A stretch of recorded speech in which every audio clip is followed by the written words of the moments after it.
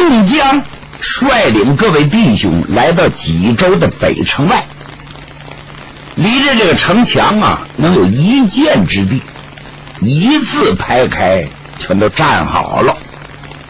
梁山的义军亲兵卫队牵着马，离着宋江他们二三十步远，站在后边。那位说一箭之地是多长？就是古人呢射那箭，叭这一箭射出去多远呢？估摸着那有一百五十步左右。功力小的没劲儿的，能射到一百步左右，这叫一箭之地。那宋江站在城底下，抬头往城上看，看得清清楚楚。看。高俅的五官相貌，看文武官员的样子，看得清清楚楚。那么城上往下看，看的也非常清楚。宋江大伙站好了之后，高俅让偏师官宣读圣旨，要对宋江众人进行招安。此刻宋江心都提到嗓子眼儿，不知道圣旨上怎么写的。这是关键的时刻，仅宋江如此，他的弟兄们也是这样，提心吊胆，摘耳静听。突然间，吴用先说话了：“妈，你看谁都不言语，他这一说话，城上城下的人听得清清的。”高俅就把脸沉下来了：“啊，当！”下面说话者，你是何人呢？水泊梁山军师吴用是也。啊，你就是人常说的那个吴学究，正是小人。吴用啊，你拦住天使，不叫玄照，什么意思？回太尉，呃，虽然说招旨上所说我们不得而知，但是皇上招安我们是真的。如果说宣读旨意就我们这些人听着，或者太尉周围人听着，似乎分轻一些。我提议，能否把济州城父老乡亲头面人物？都请上城头，让老百姓也听一听，叫大家给做个见证。不知太尉愿意不愿意？这哟，高俅心说：“这吴学究这小子真是个转轴啊，鬼点子真多，还叫老百姓给作证。嗯，有心不答应。”今儿这戏就没法往下演了，恐怕双方顶了牛。所以这高俅啊，迟愣了一下，冷笑一声：“哼，好，就按你的主意办。”张叔夜呀，张叔夜过来了，大帅，听见没听见？你代我下达通知。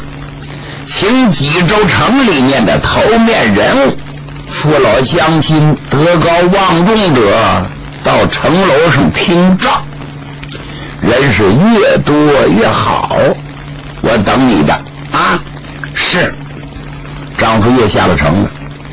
哎呦，那得等一段时间呢。按现在钟表来说，将近一个小时。这老百姓呼噜呼噜呼噜顺着马道全上了城了。由少变多，是密密麻麻呀！这北关城楼上都站满了，大部分都是有胡子的老头妇女不多。另外，买卖家的掌柜的，呃，德高望重的族长等等等。高俅往左右看看，嗯，我说宋江不用啊，睁开你们的眼睛，仔细看看。你们还满意吗？吴用早就看清楚了。多谢大帅，我们满意。那么下面宣读招旨可以了吧？全凭大帅安排。好，天使官宣旨吧。这天使官呢，站在一个凳子上，比别人高着半截，居高临下嘛，代表着皇上，比别人高出一头来。另外呢，站得高一些，脾气高声朗读，为的是叫底下的人听得清清楚楚。众人看着天使官穿着黄袍，头戴金钟帽，两根飘带飘在胸前，看那样也就在四十左右岁吧。平时营养不错，是脑门子倍儿亮。就见他毕恭毕敬，把这圣旨轻轻的展开，而后轻轻嗓音高声宣读。大伙听着。这个词儿啊，文绉绉的，没有学生，干脆你听不懂。哎，咱呢把它翻译一下，变成口语化。大致的意思是说：奉天承运，皇帝诏曰，宋江一干众人占据水泊梁山已有数载，这些人。每人身后都有一些背景，听说嘛，被逼无奈占据水泊落草，多行不义。按理说，天子应当派大兵征剿，为民除害。念尔等良心未泯，尚有归顺认罪之心，故颁发诏旨。除宋江外，余者一概赦免无罪。召专人接手水泊梁山，卢俊义、吴用等人进京来领罪，重新安排事后的事儿。余者众人遣散回家，士农工商各则自便。钦此。我是给他翻译过来的啊，原词不一定是这样。众人听得清清的，有的不明白，大部分是懂的。吴用这一听，除宋江之外，这句听得清清楚楚。吴用高声断喝：“哎，别念了！怎么回事？这圣旨怎么还除我哥哥之外，其他人无罪？”说我们没罪，还得到京城去请罪，这什么意思啊？还我不明白，弟兄们，你们听懂没听懂？梁山的好汉都是热心肠啊，都听见了，一定把宋江排除在外。那意思说，专门处理宋江，宋江这活不了，其他的人没事这就是诚心拆散弟兄的关系。吴用重重大怒，用眼睛瞪了一眼小李广、花荣，嗯，那就是你还不动手？看华容，一转身到了马旁，抽弓搭箭，一拧钩孔，搭上悬扣，对准城头上的天使官，一拍，就是一箭。你看离得那么远，花荣是神射手。那功力相当硬，射程相当远，射的也准。这一箭正好射到天使官的脑门子上头，砰的一下，射穿了颅骨。天使官哎呦一声，从凳子上翻身栽倒，是绝气身亡。这下城头可就乱了套了。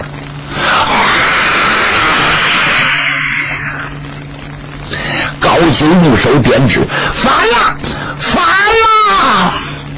你们竟敢射死天使官，目无天子，这还了得！我跟你们绝不能善罢甘休。”吴用冷笑一声：“高俅啊，这些伎俩骗小孩行，骗我们没用。宋哥哥，诸位上马！”众人一转身上马，这各抄兵刃，乱作一团。高俅按照事先的安排，吩咐一声：“出兵，把他们全都斩尽诛绝。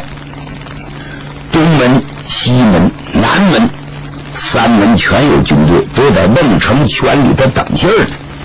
高俅一声令下，但见城门大开，这官军可老的往外灌。哇！冲啊！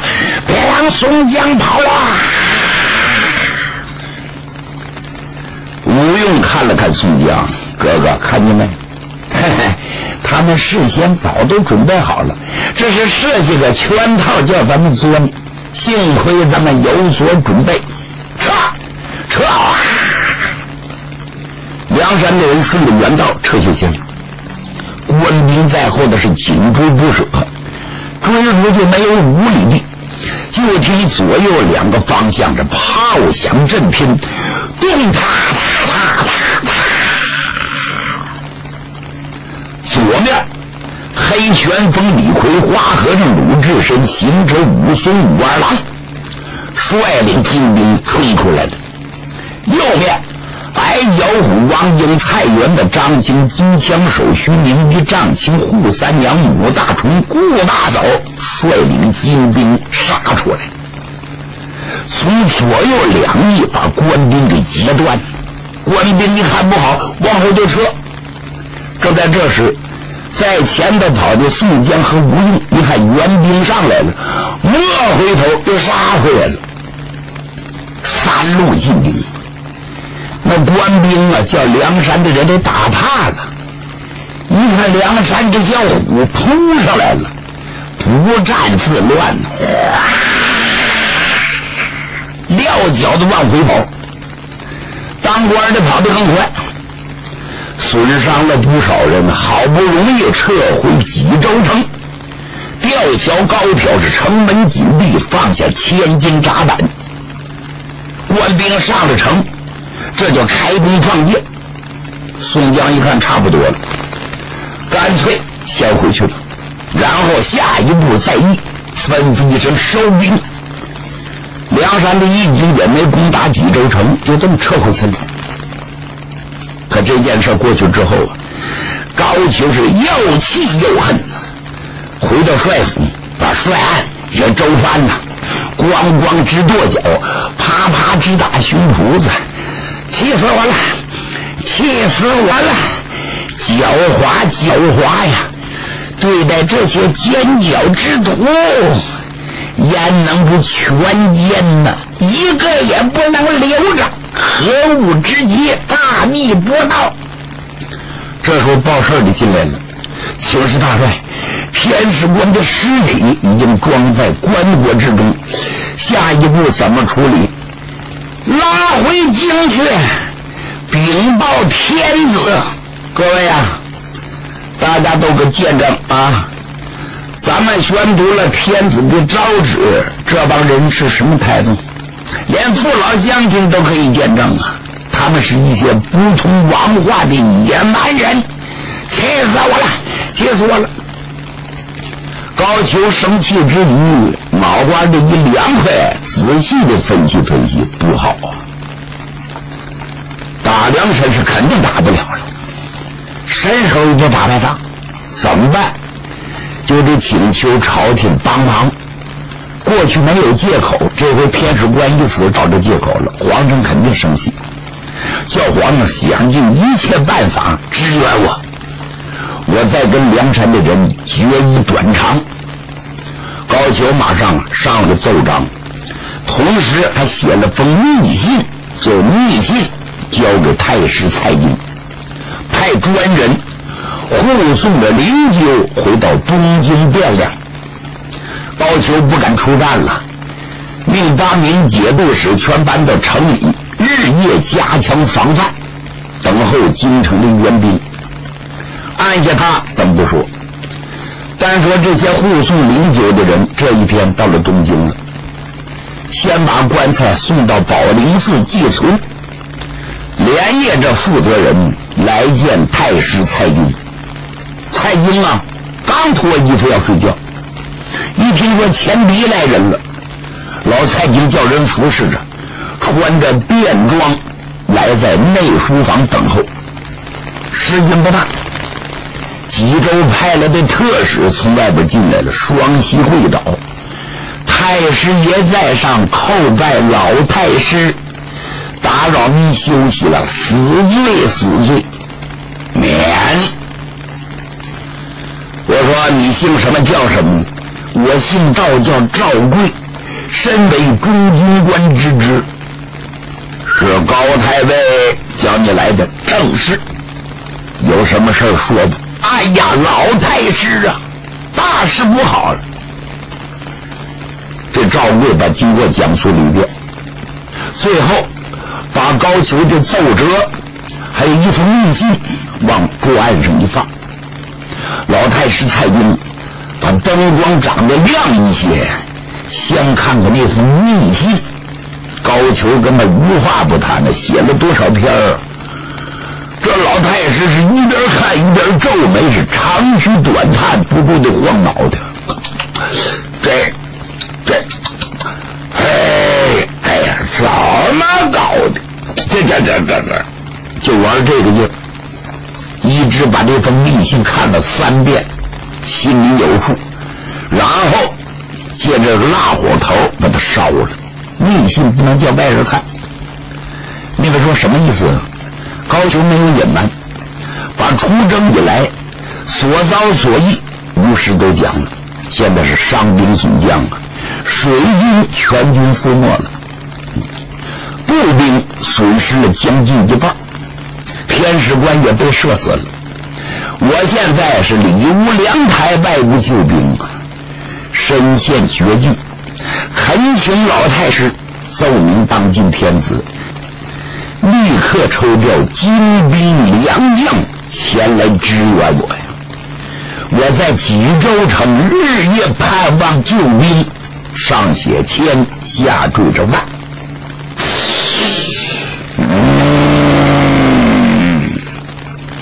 奏折不用看了，跟这个肯定是大同小异，还不如看这封密信。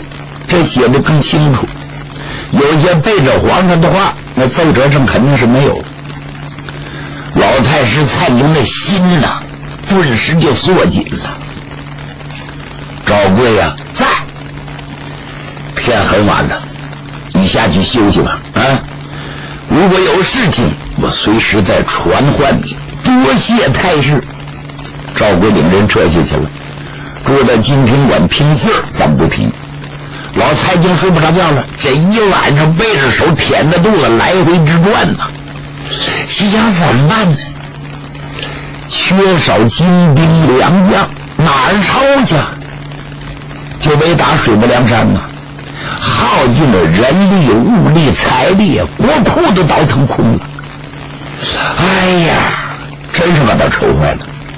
第二天，他马上把童贯杨健给请来了。这童贯现在还在反省院反省呢，但是出入有自由，也就是表面上走走形式而已，遮遮众人的耳目。实质上，他依然是蔡太师的心腹，掌握着一定的大权。这仨大奸臣，第二天在内书房窃窃私议呀，足有两个时辰，分析了当前的形势。最主要的，怎么声援高俅，怎么平灭水泊梁山？到了现在也没办法了，就得抽人了，杀李邓金，豁出去了，把别的地方的军队撤到京城来，然后派到济州去，拆东墙补西墙。就这么商量完了，定了一套方案。老太师蔡京感动宫廷，就进了皇宫了。今天不是皇上升朝的日子，他出入皇宫随便，来到秦德殿来见皇上。单说八德徽宗道君天子在秦德殿干嘛呢？正在观赏几件玉器，是天中国进贡进来的。据说这几件玉器价值连城。哎呀，徽宗天子是爱不释手啊！好东西，好东西！